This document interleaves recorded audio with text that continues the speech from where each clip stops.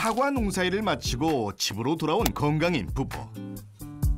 먼저 주방으로 들렸는데요.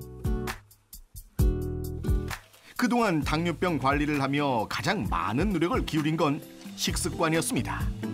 전에는 흰쌀밥을 좋아하고요. 그냥 흰쌀밥에 김치 얹어서 라면하고 같이 먹고 그렇게 식사를 했었거든요. 당뇨병을 앓고 나서부터는 식이섬유가 많은 보리쌀에다가 콩 그리고 흰쌀 조금 넣어서 밥을 하- 짓고 있어요.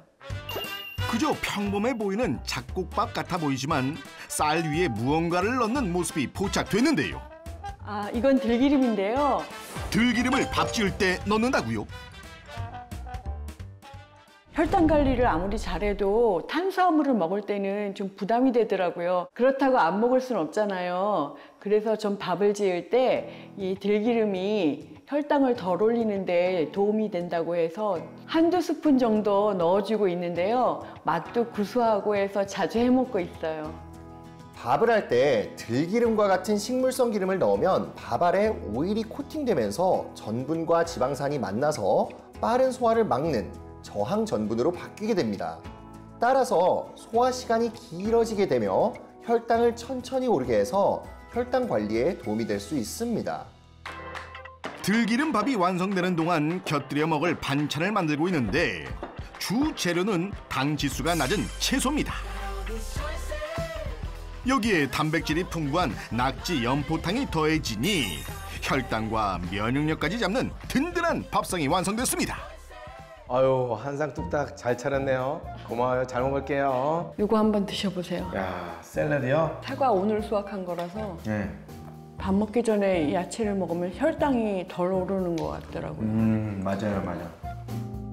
당뇨병은 먹는 음식에 따라 혈당이 크게 좌우되기 때문에 지난 10년간 간식을 줄이고 채소와 단백질 위주로 식단을 바꾼 건강인 부부. 여보 잘 먹었습니다. 감사합니다. 자 이제 이걸로 마무리합시다. 식사 후에는 항상 습관처럼 챙기는 것이 있었으니 특히 요즘처럼 기온이 떨어질 때 혈당과 면역력 개선을 위해 빼놓지 않고 섭취한답니다. 자 아, 이거요? 이건 흑염소 진액인데요. 혈당 관리에 도움이 된다고 해서 저희 부부가 꾸준히 챙겨 먹고 있어요. 그래서 그런지 예전에는 손발이 차고 그랬는데 지금은 몸도 따뜻해진 것 같고 무엇보다 혈당 수치가 잘 관리되는 것 같더라고요. 그리고 이제 곧 겨울인데 환절기 면역력 관리에도 도움이 되는 것 같아서 아내와 함께 꾸준히 챙겨 먹고 있습니다. 건강인 부부가 챙기는 흑염소 진액 어떤 도움이 될까? 흑염소는 예로부터 검은 보물이라고 불리면서 오랜 시간 건강식으로 사랑받아 왔는데요. 동의보감에는 고양육이라고 해서 기운을 끌어올리고 마음을 다스리며 몸몸을 따뜻하게 한다고 기록되어 있습니다. 특히 흑염소는 신장에 줄어드는 양기를 보충하고 호르몬 분비를 원활하게 해서 혈당 조절에 도움을 줄 수 있습니다. 또한 열량과 지방이 적은 흑염소에는 불포화 지방산인 아라키돈산이 풍부하게 들어있는데요. 아라키돈산은 불포화 지방산의 일종으로 모유에 많이 들어있는 성분입니다. 성호르몬을 생성하고 세포 기능을 도울 뿐만 아니라 인슐린 민감성을 개선해서 혈당 조절에 도움을 주는 것으로 알려져 있습니다. 실제로 아라키돈산을 아연과 함께 섭취한 결과 인슐린 민감성을 개선해 혈당 조절에 도움이 되었고 아라키돈산 농도가 높을수록 당뇨병 발생 위험이 46% 감소하는 것이 확인됐습니다. 또한 흑염소에는 면역력 저하의 주범이 되는 활성산소를 제거하는 비타민 E가 풍부해서 면역력 증진에도 도움이 될 수 있습니다. 하루 종일 쉴 틈 없이 움직이는 건강인 부부. 이번엔 또 뭘 하려는 걸까? 당신 덕분에 밥을 잘 먹었는데 한번 운동 한번 해볼까 우리? 그럴까요? 아니 근데 운동이라고 하기엔 도구가 좀 독특한데요. 손에 드신 건 뭐예요? 아, 이거요? 이 대나무를 이용해서 운동을 하면 혈당과 혈압을 낮추는 데 도움이 된다고 하더라고요. 자 올라서시고 자 왼쪽으로 시작. 대나무 위에 올라서서 좌우로 반복해서 움직이면 걷는 것과 같은 효과를 얻을 수 있는데요. 발바닥에 오장육부가 다 있다 그러잖아요. 30분 정도 지그시 밟아주면 은 혈액순환도 잘 되고 면역력에도 도움이 된다고 하더라고요.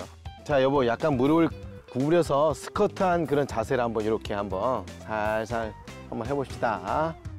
이 자세로 하는 게 훨씬 더 운동이 되고 자극이 되는 것 같아요. 건강인 부부의 대나무 밟기. 건강엔 어떤 도움이 되는 걸까? 하지 정맥 펌프 운동 중 하나인 대나무 밟기는 발바닥에 있는 용천혈을 자극해 혈액순환을 돕고 혈당 안정에 도움을 줄 수 있는데요. 또한 옆으로 옮겨가며 대나무를 밟는 동작은 걷기 운동과 같은 효과를 줄 수 있어서 당뇨병과 고혈압과 같은 질환 예방에 도움이 될 수 있습니다.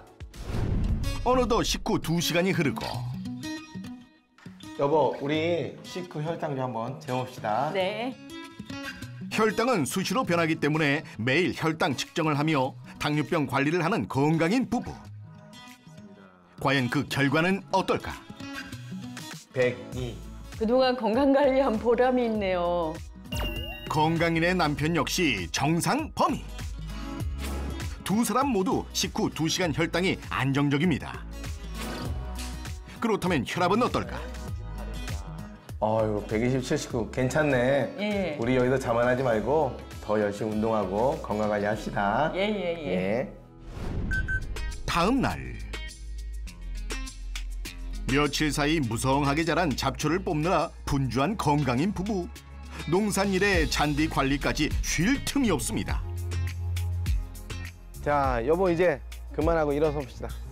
에? 일어서서 뭘 하시려고요? 아침엔 격한 운동보단 까치발 운동을 하면서 틈틈이 혈당 관리를 하고 있는데요. 흑염소 진액 섭취도 빼놓지 않습니다. 흑염소 진액은 과다 섭취 시 복통과 설사를 유발할 수 있으니 하루 권장량 이내로 섭취하는 것이 좋습니다.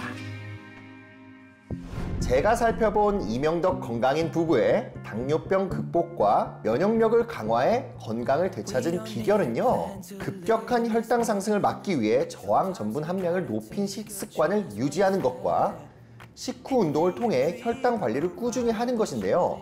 여기에 혈당 조절과 면역력 강화에 도움이 되는 것으로 알려진 흑염소 진액을 꾸준히 섭취한 것이 도움이 된 것으로 보입니다.